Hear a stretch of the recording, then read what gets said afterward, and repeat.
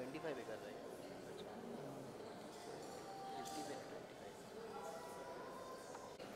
It's a great jeep.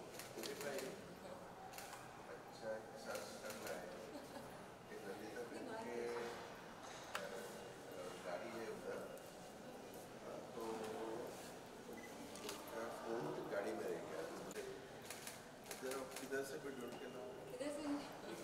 I should dial a number. Suppose me. पीछे जो ना number shoot है मुझे फिर वो नंबर ही याद है hello can you hear me? Just send the on this number. Just WhatsApp it. This is Nishit भाई नंबर मैं कहाँ लिख दूँगी बाबा? मेरे पास पेन नहीं है पेपर नहीं है ओके वन सेकेंड नहीं you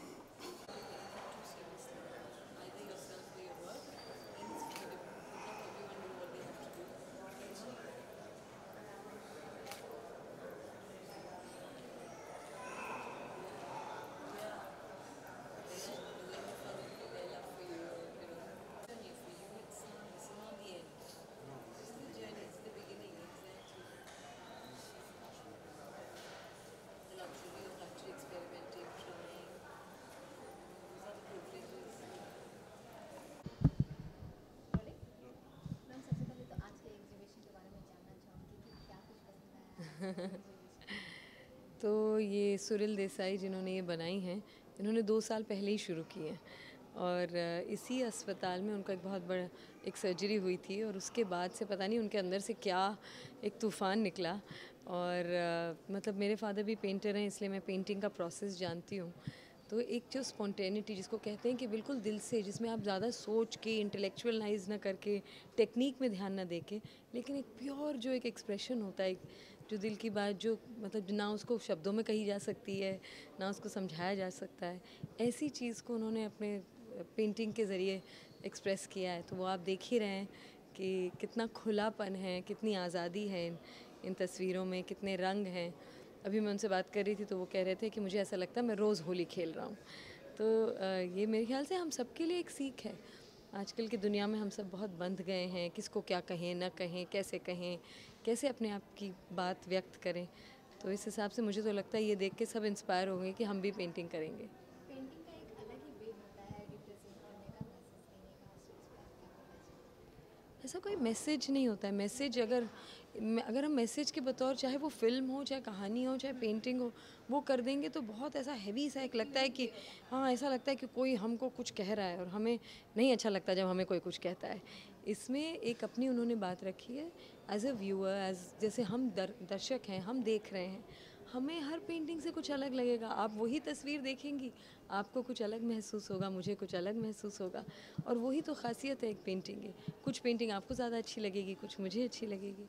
तो पेंटिंग जब देखते वक्त अपना दिमाग इतना नहीं लगाना चाहिए, दिल लगाना चाहिए और आँखों को बिल्कुल एक सुकून मिले, ऐसी एक मतलब ऐसा एक प्रोसेस होना चाहिए और आई थिंक uh, इसमें मुझे तो जो मैं जो समझी हूँ मुझे उसमें फ्रीडम मतलब ये शब्द मेरे मन में सबसे पहले आया जब मैंने देखा कि किसी ने पूरी आज़ादी से अपने आप को एक्सप्रेस किया है और हमें भी अपनी वो आज़ादी कहीं ढूंढनी चाहिए और अपने अपने ज़रिए ढूँढने पड़ेंगे एक्सप्रेस करने के। मैं चाहे फ़िल्म बना के करूँ आप कुछ लिख के या कुछ दिखा के हम सब कैसे और आज़ाद हों। अपने दिलो दिमाग से, उसके बारे में मुझे लगता है कि इसमें एक प्रेरणा मिलेगी, हमें एक इंस्पिरेशन मिलेगी। ये बहुत ही एक टिपिकल क्वेश्चन होता है कि आपका फेवरेट क्या है? मैं तो एकदम चैम्प मतलब I am a big champion of जिसको कहते हैं कि वैरायटी हमें क्यों चूज़ करना चाहिए कि कौन सी? हो हो सकता है मुझे मंगलवार को वो ज़्यादा पसंद आए और सोमवार को ये लगे, सुबह ये लगे। तो ऐसी कोई नहीं, कुछ पेंटिंग ज़्यादा अच्छी लगती हैं। जो कुछ पेंटिंग्स एकदम जैसे दिल को छू जाती हैं या लगता है कि इसमें कुछ है ऐसा तो मैं ऐसे एक दो आपको दिखा सकती हूँ। अगर आप मेरे साथ चलेंगी तो मैं आपको दिखाऊँगी। आप उनकी पेंटिंग भी देखते जाइए मेरे साथ। साथ तो हर पेंटिंग अलग है। अब आप देख रहे हैं, मैं भी ढूंढ रही हूँ आपके साथ साथ कि क्या है। अब जैसे ये अगर आप देखें ये दो पेंटिंग कितनी अलग है है ना? इस, अब आप कैसे कंपेयर कर सकते हैं? अगर मैं कहूँ कि ये ज़्यादा है या ये ज़्यादा तो ये गलत होगा कहना। ये बिल्कुल कुछ अलग कह रहा है। ये बिल्कुल कुछ अलग कह रहा है। तो आप मुझे एक्चुअली ये फेवरेट के उसमें मत फंसाइए। मुझे सारी पेंटिंग्स अलग अलग लेवल्स पे अच्छी लगी। अभी कुछ नहीं, अभी बस मैं लिख रही हूँ। अभी मैंने रिसेंटली इंडियाज़ गॉट कलर ऐसे जो रंग का हमारा जो ऑब्सेशन होता है फेस स्किन उसके बारे में एक छोटी सी दो मिनट की फ़िल्म बनाई है, जिसमें हर रंग को हम सेलिब्रेट कर रहे हैं। तो एक तरह से यही है इंडियाज़ गॉट कलर जैसे है, इसमें सुरिल्स गॉट कलर थैंक यू कोई मैसेज नहीं है, बस दिल की सुनिए। इस एग्जीबिशन से मैं यही इंस्पायर्ड हुई हूँ कि अपनी दिल की सुनिए और दिल की कहिए।